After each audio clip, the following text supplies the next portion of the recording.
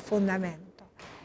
Uy, sí, vamos hacia estos principios tan importantísimos en lo que tiene que ver con el universo, lo que tiene que ver con todas las cosas creadas. Ahí estaba, ¿cuál es el cimiento? El cimiento de Dios. El cimiento de Dios. Es Dios mismo ese cimiento.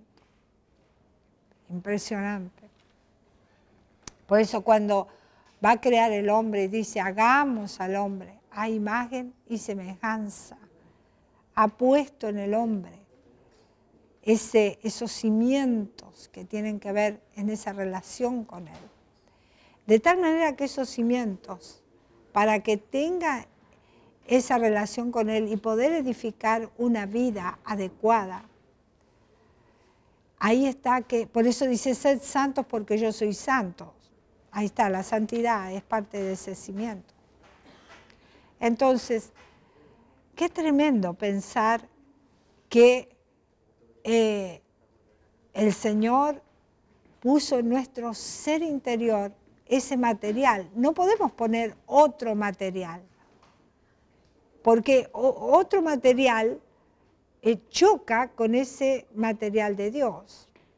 Si nosotros vamos poniendo otro material, ¿qué, terminamos haciendo? Destruyendo el edificio. Se destruye, se, se desintegra. No podemos construir si no es con el material adecuado. Ese que tiene que ver con Dios.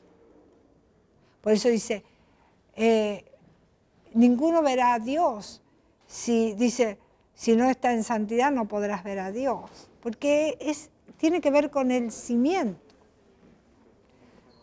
Por, las bases, esos cimientos donde nosotros fuimos construidos. Ya tenemos que poner el material adecuado.